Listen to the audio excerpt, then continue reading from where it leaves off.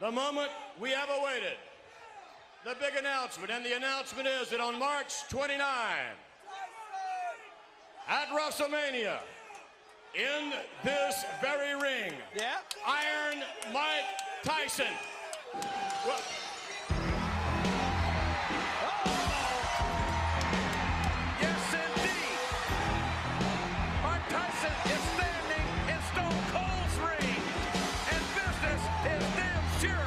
about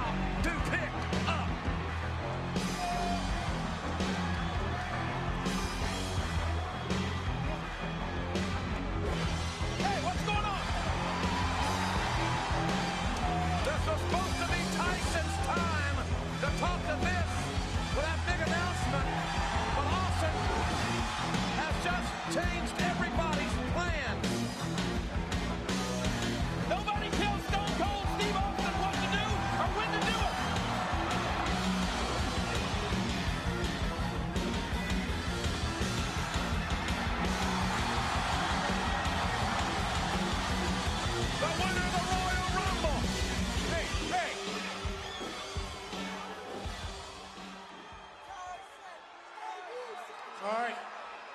Mr. Austin, why are you here?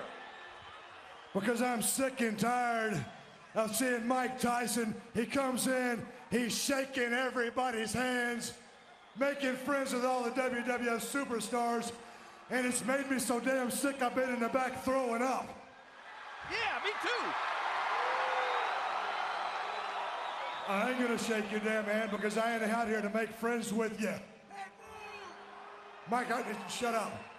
I respect, I respect what you've done in the boxing world, but Jesus Christ, son, when you step in this ring, you're messing with Stone Cold Steve Austin, and that's something you don't do. Yeah, you're on a different planet now. Let me make it short and sweet. What I'm telling you is I want a piece of Mike Tyson's ass. Whoa!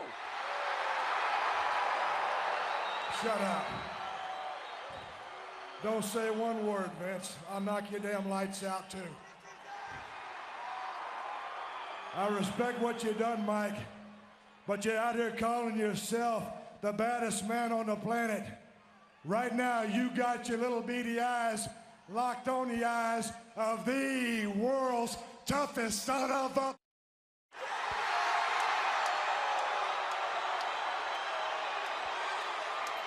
I could beat you any day of the week, twice on Sunday.